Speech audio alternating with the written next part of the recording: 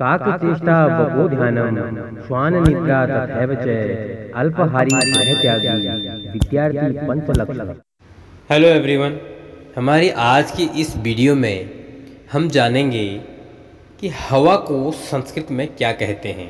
हवा यानी कि एयर एयर को संस्कृत में हम किस तरह से लिखेंगे और क्या कहेंगे, किस तरह से बोलते हैं, इस वीडियो में हम जान लेंगे। यहाँ पर मैंने चार ऑप्शन दे रखे हैं, अगर आप पहले से ही जानते हैं तो आप इसका आंसर पहले मेरे को कमेंट करके कर सकते हैं। एक बार अपना माइंड चेक कर लीजिए आप। ए है सहस्र बी है अश्वा सी है पवन, और डी है अहम। तो इसका जो राइट आंसर है, यानी कि इसका जो करेक्ट आंसर है, सही उत्तर है, वो है सी पवन। यानी कि संस्कृत में हवा को पवन कहते हैं। तो आज की हमारी इस वीडियो में हमने जाना कि हवा को संस्कृत में पवन कहते हैं।